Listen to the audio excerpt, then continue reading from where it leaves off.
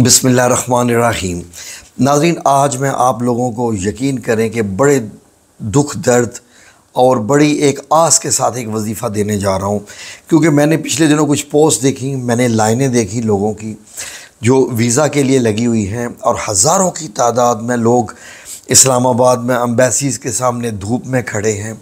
कई लोग अपना टेस्ट करवाने के लिए, कई कुछ। यकीन करें कि मैं ये समझता हूँ कि अपना मुल्क को छोड़ना एक बहुत मुश्किल काम है और एक किस्म की कुर्बानी है।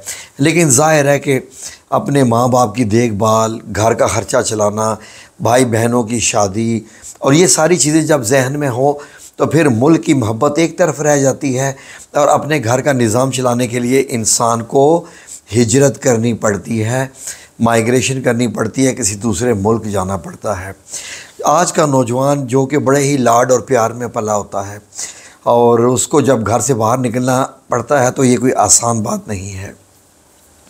लेकिन नाजरीन, बात करें वजी, इस वजीफ़े की तो मेरी उन नौजवानों से गुजारिश है, क्योंकि आप इसकी ख्वाहिश रख रहे हैं तो आप अल्लाह से रुजू करें। अल्लाह से रुजू कैसे करने एक तो दुआएँ करनी होती हैं जो आप अपनी ज़ुबान में भी करते हैं।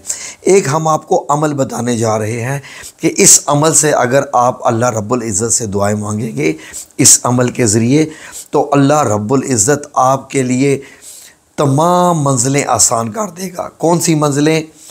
वीज़े का पूरा प्रोसेस, वीज़े का हसूल, यानी हासिल करना, फिर बैरून मुल्क जाना, वहाँ पर जाकर नौकरी ढूंढना, और या वहाँ पर जाकर कारोबार करना, जो भी करना अल्लाह रब्बुल इज़्ज़त आपके लिए इतनी आसानियाँ कर देगा कि लगेगा कि बस आप मट्टी को हाथ लगा रहे हैं और सोना बनती जा रही है। जी नाजरीन, ये वजीफ़ा ऐसा है। और नाजरीन, मैं ये समझता हूँ कि जो लोग ये वीडियो देख रहे हैं और ये सोच कर देख रहे हैं कि उन्होंने ये वजीफ़ा करना है और ये सोच कर नहीं देख रहे कि इस बंदे की दाढ़ी है कि नहीं, या इस बंदे का मामला कुछ है कि नहीं, वो ये सोच कर देख रहे हैं कि ये कोई ख़ास अल्लाह की बात बताने वाला है, कोई वजीफ़ा बताने वाला है जो काम करेगा तो उनको मुबारक हो कि उनका इन बेजन ताला काम होगा। ये वो लोग भी वजीफ़ा कर सकते हैं। जो लोग पाकिस्तान में अपना कारोबार सेट करना चाह रहे हैं या पाकिस्तान में नौकरी का हसूल चाह रहे हैं, ये वजीफ़ा उनके लिए भी आसानी का बायस बनेगा। ख्वा वो बैरून मुल्क हो, पाकिस्तान हो, या अगर बैरून मुल्क हैं और आपके पेपर नहीं बन रहे, गवर्नमेंट आपको वहाँ की कहती है कि आपको वापस भेज दिया जाएगा तो उसके लिए भी आप ये कर सकते हैं। अब नाजरीन, क्योंकि आप मुसलमान हैं, आप समझते हैं कि कुरान पाक की अहमियत क्या है? दिनों की अहमियत क्या है?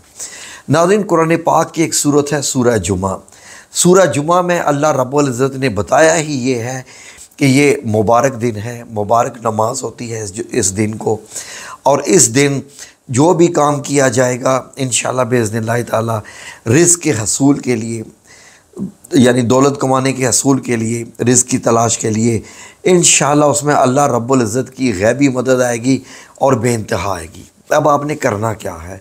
ये गौर से सुन लीजिए। कंफ्यूज नहीं होना, मैं स्क्रीन पे सब कुछ लिख दूँगा, आपके लिए आसानी हो जाएगी। बताने का मकसद ये होता है कि आप लोग कंफ्यूज ना हों, सबसे पहले। अब आपने जो नौजवान मतलब वीज़े की तलाश में हैं या कारोबार की तलाश में हैं या रोज़गार की तलाश में हैं, जो भी है, वो अब क्या करें? उन्होंने क्या करना है कि जुम्मे वाले दिन अपने जुम्मे की नमाज़ पढ़ने के लिए जाएँ मस्जिद में। और जब वहाँ पर मस्जिद में नमाज़ पढ़ चुके, जुम्मे की नमाज़ मुकम्मल हो जाए, उसके बाद चाहें तो ये स्क्रीन शॉट ले लें। मैं आपको पूरी स्क्रीन पे दिखा देता हूँ। तो आपने ये काम करना है। या मस्जिद में बैठ के कर लें। ये जुम्मे की नमाज़ पढ़ के जब आप लोग घर वापस आ जाएँ तो फिर उसके बाद ये काम कर लीजिए। देखिए, अल्लाह रब्बुल इज़्ज़त कैसे आपके दिन फेरता है। इन हम चाहते हैं कि अल्लाह रब्बुल इज़्ज़त ऐसा करे कि सब लोगों को सब कुछ नसीब हो। तो नाजरीन सूरा अलजुमा की आयात के कुछ हिस्से हैं जो मैं आपको स्क्रीन पे दिखाने जा रहा हूँ। आपने दी गई तादाद के मुताबिक पढ़ने हैं। अगर आप मेरे साथ थोड़ा सा वक्त स्पेंड करेंगे तो मैं आपको ये बताऊँगा कि आप पढ़ने क्या जा रहे हैं। मैं तर्जमा भी बताऊँगा, ताकि आपको समझ आ जाए। तो गौर से सुने, ताकि वजीफ़े की रूह तक आप पहुँच सकें। वजीफ़े की रूह तक। और ये जो अमल है, क्योंकि वजीफ़ा जुम्मे वाले दिन स्टार्ट करना है जुम्मे के दिन से करना है तो आपने पहले दिन का ये अमल, यानी सिर्फ़ जुम्मे के दिन का क्या अमल है? गौर से सुन लीजिए। ये स्क्रीन शॉट ले लें, इन्हीं को रख के आप पढ़ सकते हैं। आपने यहाँ से पढ़ना शुरू करना है। पहले तीन बार द्रुद बाग पढ़ना है। ठीक है जी, वजीफ़ा शुरू करने से पहले और ख़त्म करने के बाद भी तीन तीन बार द्रुद इब्राहिमी पढ़ना है। ठीक है, अब आपने ये वाली आयत जो स्क्रीन पे आ रही है, ये आपने सात बार पढ़नी है। क्या ये आयत है?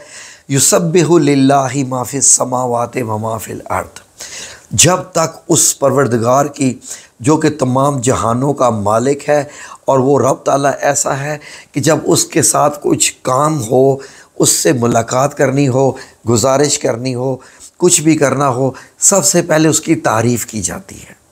तो ये आपने सात बार याद पढ़नी है। अब इसका मतलब भी सुन लीजिए, जो चीज़ आसमानों में है और जो चीज़ ज़मीन में है, सब अल्लाह की तस्बी करती है और आपने भी तस्बी कर दी। ठीक है जी?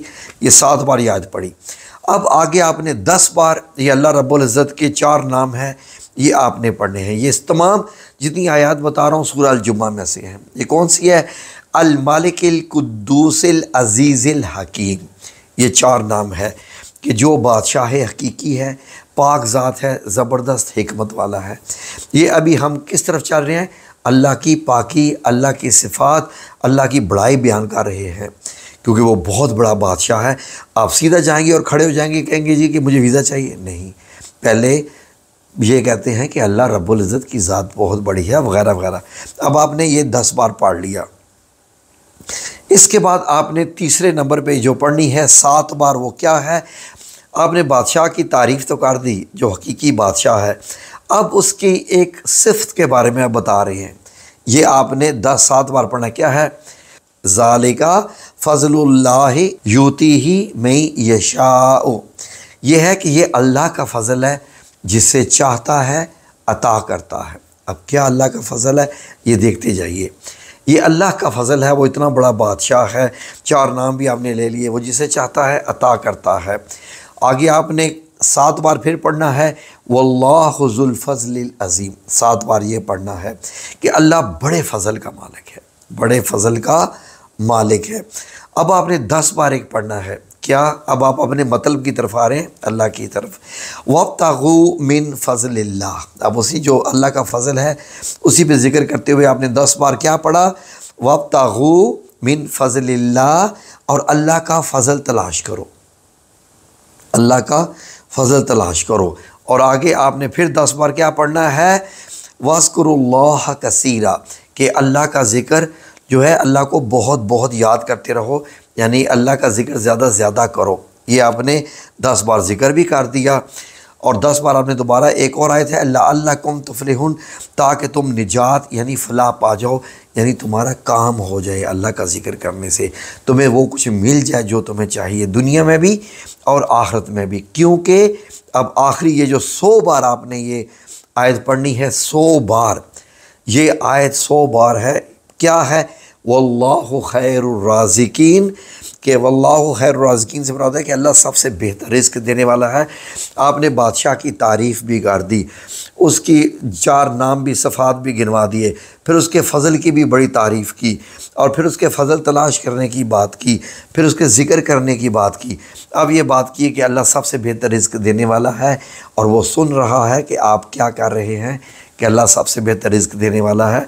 अब आप दोबारा तीन बार दरूद पाक पढ़िए और छत पर जाकर या कहीं भी परिंदों को कुछ दाना डाल लीजिए। आपके घर में कोई रोटी है तो उसके टुकड़े करके बहुत सारे परिंदों को खिला दें या कि आपके घर में दाना है तो वो परिंदों को डाल दें। जो भी चीज़ आपके घर अवेलेबल है। ये आपका जुम्मे वाले दिन का अमल हो गया मुकम्मल, बस। ये वाले जुम्मे का दिन।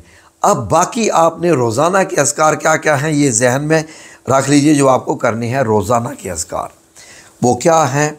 सुबह रोज़ाना आपने तीन सौ तेरह बार पढ़ना है, या जुलजलाले वाले कराम और शाम को भी पढ़ना है या जुलजलाले वाले कराम सुबह रोज़ाना पढ़ना है सौ बार, या वली, या वाली, या नसीर, और शाम को भी पढ़ना है, या वली, या वाली, या नसीर। और उसके बाद जब तक आपका वीज़ा नहीं आ जाता काम मुकम्मल नहीं हो जाता, आपकी फ़्लाइट नहीं हो जाती, सब कुछ आपका कारोबार नहीं लग जाता, आप ये रोज़ाना की रिज करते रहें।